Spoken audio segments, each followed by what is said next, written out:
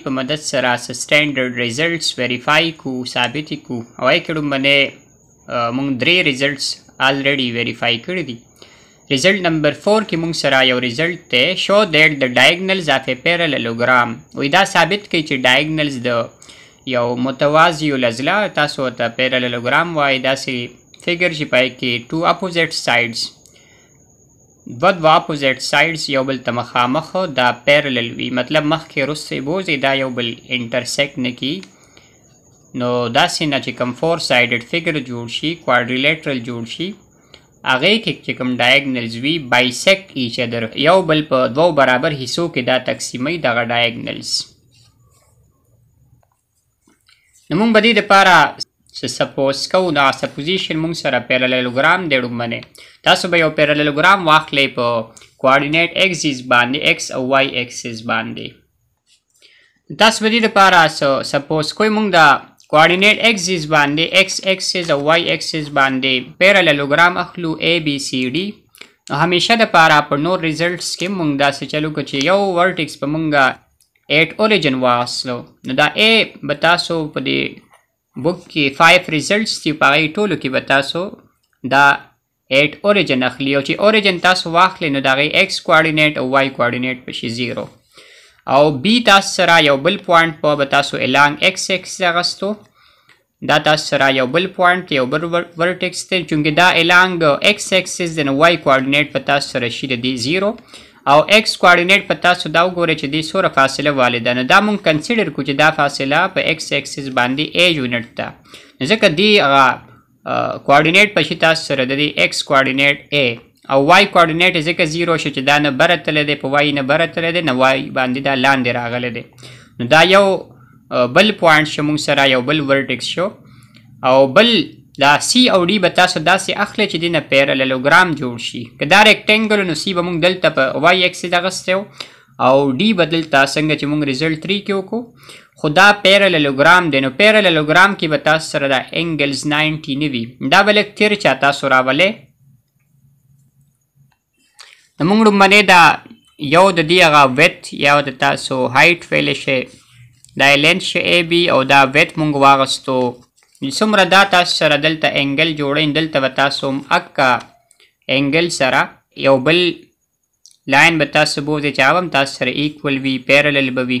خو انګل به د دې 90 نه وي نو دې پوینټ له بیا موږ نوم ورکو ډي اوس د دې ډي او د سی پوینټ تاسو سره کوارډینیټ سره راځي دا پکې موست امپورټنټ کار دی دا بي سي او دا اي ډي به تاسو سره په لینث کې ایکول وي او یو بل ته به پیرلل وي هله به تاسو سره دا فګر بیا پیرللوګرام وي نو موږ دا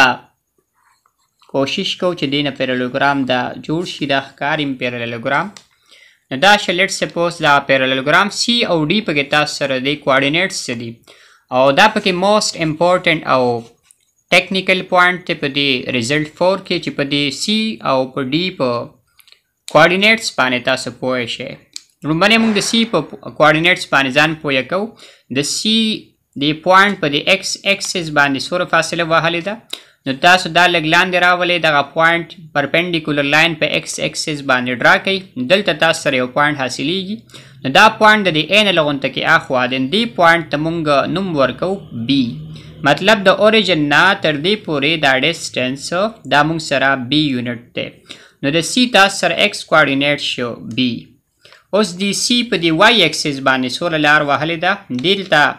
دا تاسو یو پرپندیکولر لاین راکې په وای ایکسس باندې دی ډیسټنس ته موږ نوم ورکو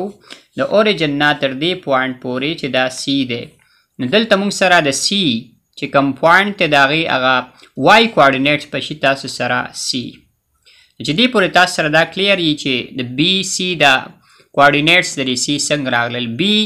یونټ دا تاسو سره الانګ ایکس ایکسس دی سی پوینټ وهلی دی او سی یونټ دی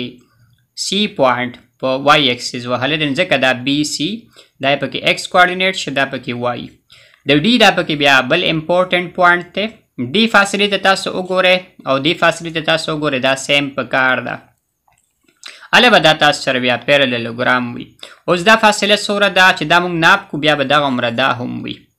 او دا به بیا موږ ته ووایي چې دی ډي په دې ایکس اکسس باندې څومره فاصله وهلې ده دی ډي پوینټ په ایکس اکسس باندې څومره لار وهلې ده نو دلته به موږ دا چیک کړو چې دا څومره ده دې دپاره به تاسو چل کوئ دا وګورئ د دې پورې تاسو سره دا بي دی تر دې پورې دا تاسو سره ای دی نو باقي څه پاتې شو دا بي تاسو سره لوی دی دا ای وړوکی دی بي ماینس ای به دلته تاسو سره دا فاصله وي دا وړه که ان کیس تاسو په دې نه پوهېږئ لیټ سپوز چې دا بارا میټر ده بارا سانټي میټر ده یا بارا یونټ شوه او دا چې تاسو سره ټین سانټي میټر در دې ځای نه تدري بي پورې نو دا بیا څومره وي دس جمع څه چې دا ټوټل بار راشي دلته به تاسو سره دا راشي دو خو دا دو تاسو څنګه معلوم کو بارا منفي دس نو بارا په تاسو سره بي دی او له داس پر تاسو سره a دین دا به شي تاسو سره b ماینس a اتوماتیک په دام تاسو سره شي b ماینس a نو دې فاصله وهلې ده د d پوینټ په x اکسس باندې b ماینس a دلته y کوارډینیټ او y کوارډینیټ پر دې سوي نو y کوارډینیټ دلته تاسو چک کې په y اکسس باندې تاسو پرپندیکولر لاین راولې هغه تاسو سره c یونټ دی نو b ماینس a کاما c دا تاسو سره کوارډینیټ شو د دې ډي او دا پکې د ټول نه موست امپورټنت او ټیکنیکل پوینټ ته په دې ریزلټ 4 کې چې تاسو په دې باندې پوه شئ چې دا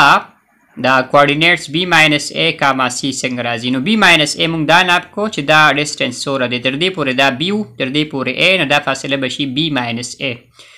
او اگزامپل په تور باندې مونږ بار او دس درکړل دا هر څه تاسو غسته شي اگزامپل په تور باندې دلته تاسو سره بی دی دا ای دا بی ماینس ای شي دا فاصله چې دا بی ماینس ای شونه دا فاصله به تاسو سره بی ماینس ای وي دا ځکه چې دا پیراللوګرام دی او دا تاسو سره شو ایکس کوارډینیټ د دی ډی پوینټ وای کوارډینیټ په سر راځي نو وای کوارډینیټ بالکل اب یس ته دا تاسو سره سی یونټ دی فاصله وهلې ده چې دا تاسو معلوم کړ بیا تاسو کیسه اسانه ده تاسو به څه شو کوی دی کې ډایګنلز بایسیکټ ایچ ادر ډایګنلز تاسو سره څه دي اے سی یو ډایګنل دی او بی ډی یو بل ډایګنل دی نو دی وی په یو پوینټ باندې دی څه چل کوي دا ډایګنل دی په برابر دوه حصو کې تقسیموي او دا ډایګنل دی په دوه برابر حصو کې تقسیموي مطلب مونږ ته شو کول چې د دې دا میډ پوینټ د دې لاین او د دې لاین دا سیم راشي او چې دا مونږ شو کو نو بیا به مونږ د ویلو قابل شو چې او دا ډایګنلز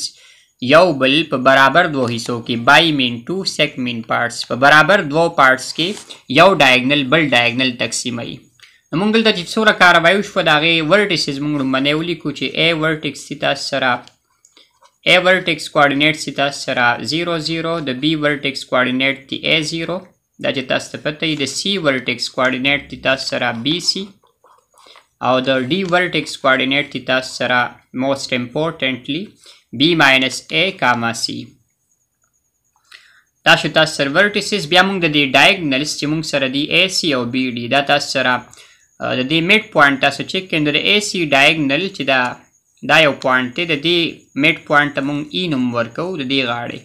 او بیا دا سی بی ډي ډایګنل دی د دې میډ پوینټ لمونږ نوم ورکو اف نو که دا ای e او اف تاسو سره سیم راغلی تاسو بر دې قابل شئ چې دا وویل شي چې ډایګنلز بایسیکټ ایچ ادر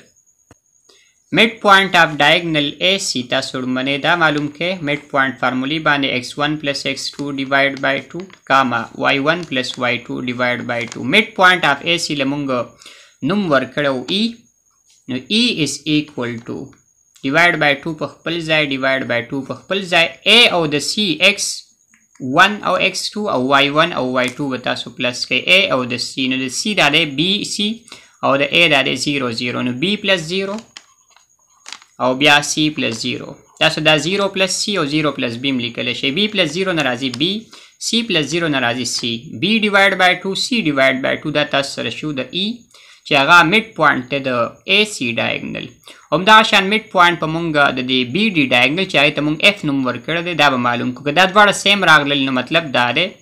چې د دې ځای نه تر دې پورې او دې ځای نه تر دې پورې دا فاصله یا د دې ځای نه تر دې پورې د دې ځای نه تر دې پورې دا فاصله تاسو سره سیم ده ای e ډي او ای e بي دا فاصله سیم شوه اف سي او اف ای یا ای اف دا فاصله سیم شوه همدغه مونږ غواړو چې دا ډایګنلز یو بل په دوو برابر حصو کې تقسیموي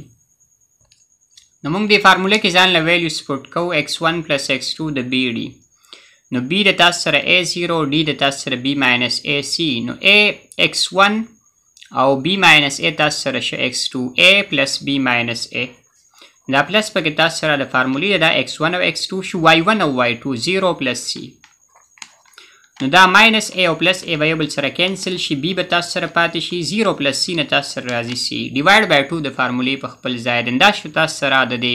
بی ډی ډایګنل میډ پوینټ اف دلته تاسو ګورئ د ایکویشن دی او تا د ای کوارډینیټس ته ګورئ د اف کوارډینیټس ته ګورئ دا سیم دي نو مطلب دا دا میډ پوینټس دي د دی یو ډایګنل د بل ډایګنل چې دا میډ پوینټ تاسو سره سیم شو نو مطلب دا دی د ای e نه تر ای پورې فاصله د ای e نه تر سی پورې فاصله دا شان اف نه تر بی او اف نه تر ډی فاصله تاسو سره سیم راځي ځکه د دې میډ پوینټ سیم دی دا مونږ ویلی شو چې دا ای اینډ اف آر سیم ځکه دا میډ پوینټ سیم راغله او د دې نه بیا مونږ ویلی شو چې د ای e نه تر ای پورې او د ای نه تر سی پورې دا فاصله سیم ده نو د ای نه ای پورې فاصله او بیا د ای نه تر سی پورې فاصله دا لینت تاسو سره ایکول دي دا د یو میډ پوینټ د وجې مونږ وی او دغه شان بیا مونږ دا ویلی شو چې د بی نه تر اف پورې او د اف نه تر ډي پورې بی نه اف پورې او اف نه تر ډي پورې دا فاصله تاسو سره سیم ځکه دا میډ پوینټ دی او چې دا تاسو ویل نو دینه بعد بیا تاسو دا لیکلی شئ چې دا څه دي دا تاسو سره پارټس دي دوه پارټس دي بای سیکشن د وجې او دا تاسو سره ایکول راغلل نو ځکه مونږ وایو چې دا ډایګنلز د پیرالوګرام یو بل بایسیکټ کوي په برابر دوه حصو کې تقسیموي دې د وجې بیا تاسو لاس لاین ولیکئ دلته دیئر فور ډایګنلز آف اے پیرالوګرام بایسیکټ ایچ ادر نو په دې ریزلټ کې موږ څه چلو کو په دې کې موږ لومبنه دا په ایکس اکسس او وای اکسس دا ورټیسز واستل لومبنه ورټیکس په اوریجن باندې بل تاسو سره په ایکس اکسس باندې سی تاسو سره یو انهونی د دې نور ټول ریزلټس نه بدل او دا ډیم تاسو سره بدل دا پکې ټیکنیکل پوینټس دا تاسو دوباره لګو ګوره چې دا تاسو کې بیا میډ پوینټس معلوم کې میډ پوینټس په سیم راشي نو مطلب دا چې دا تاسو سره برابر حصو باندی دا دواړه لاینز تقسیموی او دغه بوته تاسو ولیکی دی سره به ستاسو دا ریزلټ کمپلیټ شی.